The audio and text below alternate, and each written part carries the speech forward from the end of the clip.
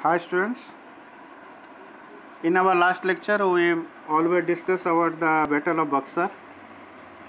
How the East India Company expand his rule in Bengal.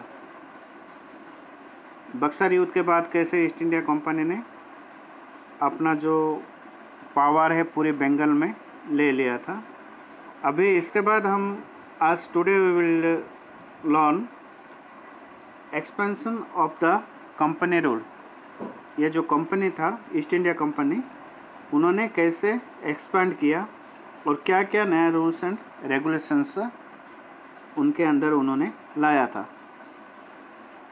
The English government pass a regulating act in 1773 AD East India company जो English government था, उन्होंने एक act एक नियम उन्होंने 1773 AD में पास किया था, जिसके मुताबिक अकॉर्डिंग यानी कि जिसके मुताबिक to which the governor of Bengal not nawab governor of Bengal was made the governor general जो गवर्नर बंगाल के थे, उनको गवर्नर जनरल में बना दिया गया।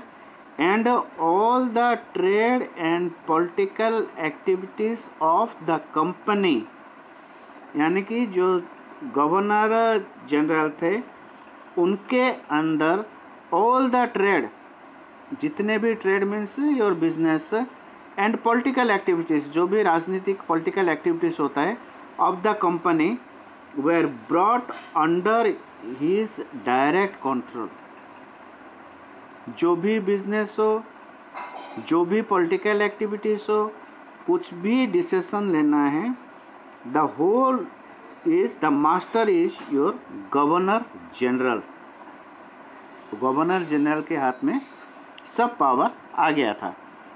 The Mumbai Madras governor and his council were brought under him यानी कि साथ में मुंबई और मद्रास उसके भी जो काउंसिल से उनके अंदर आ गया था। Thus Warren Hasting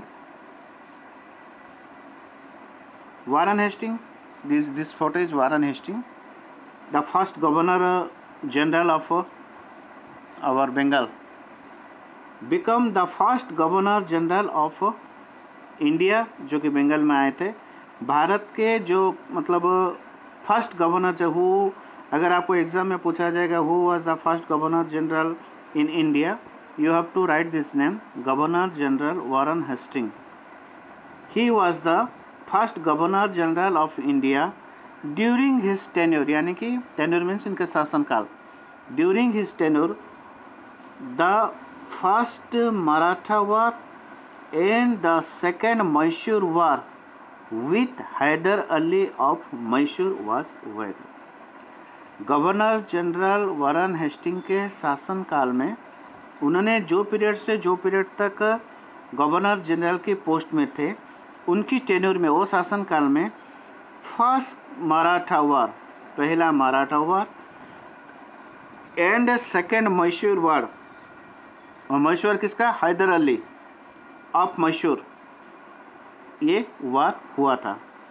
द ये युद्ध Maratha war and your Mysore war Hyder Ali जो कि मैसूर का नवाब थे, उनके साथ हुआ था।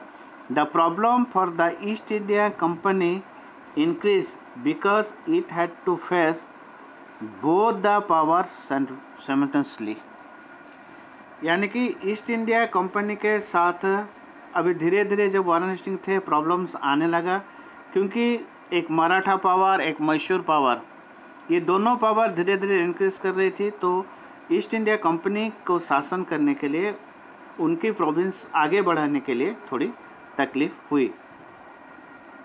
So then what happened Cornwallis took over as governor general of Warren Hastings फिर ये जब प्रॉब्लम आई, तब ईस्ट इंडिया कंपनी ने क्या किया? जो गवर्नर जनरल वारन हेस्टिंग थे, उनकी जगह पे कॉर्नवालिस कॉर्नवालिस को उनकी पोस्ट दे दिए। During the tenure of Cornwallis ये कर्नवालिस के शासनकाल में the third Mysore war took place with Tipu Sultan Cornwallis के साथ क्या हुआ?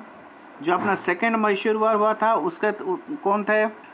Commander in chief Hyder Ali Mysore के नवाब एंड जो थर्ड जो मैसूर वार हुआ took place with Tippu Sultan the great hero of the history Cornwallis जब governor general की पोस्ट में आए थे, तब third Mysore war took place with Tipu Sultan Tipu Sultan वहाँ के मैसूर के किंग थे।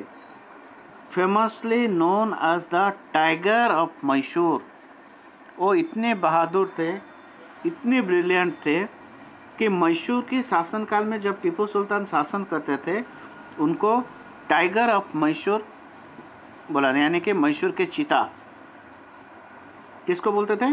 टीपू सुल्तान को बोलते थे।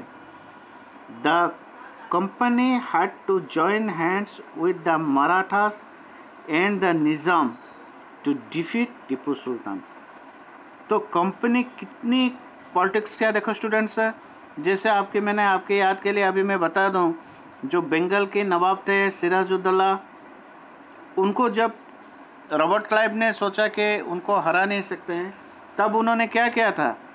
आपके मिर्जाफर एंड सेठ हमीद चाँद को सिराजुद्दौला की नवाब मतलब कमांडर इन जो चीफ थे, उनको हाथ में लेके फिर बाद में सिराजुद्दौला को उन्होंने वार में बैटल ऑफ़ पलासी में उन्होंने हरा दिया था। सेम प्रोसीजर यहाँ पे भी लेने लगे। जब कर्न कर्नवालिस को ये फीलिंग हुआ कि जो टाइगर ऑफ़ मैसूर टिपू सुल्तान, उनको इतना आसान से हरा नहीं सकते हैं तो कंपनी क्या किया? Had to join the hands with Marathas and the Nizam to defeat Tipu Sultan फिर उन्होंने क्या किया कि टिपू सुल्तान को हराने के लिए मराठा और जो निज़ाम उनको इकट्ठा किया, मिलाया। Tipu could not win against the combined force and had to accept the treaty तो इसमें क्या हुआ? जब मराठा और Nizam number one Maratha number two Nizam number three your soldier of East India company ये सब जब तीन मिल गए, ये तीन मिलने के बाद वार हुआ। वार में क्या हुआ? टिपू कुड नॉट विन क्योंकि टिपू सुल्तान अकेले थे। तो इसकी रीजन से क्या हुआ? Tipu could not win against the combined force and had to accept the treaty तो उन्होंने क्या किया? फिर इस युद्ध में वो जीत नहीं पाए थे टिपू सुल्तान। तो जब हार गए थे, फिर कुछ ट्रिटी यानी कि जो संधि होता है, कुछ एग्रीमेंट्स होती है, फिर वो एग्रीमेंट्स लेने के लिए टिपू सुल्तान मजबूर थे।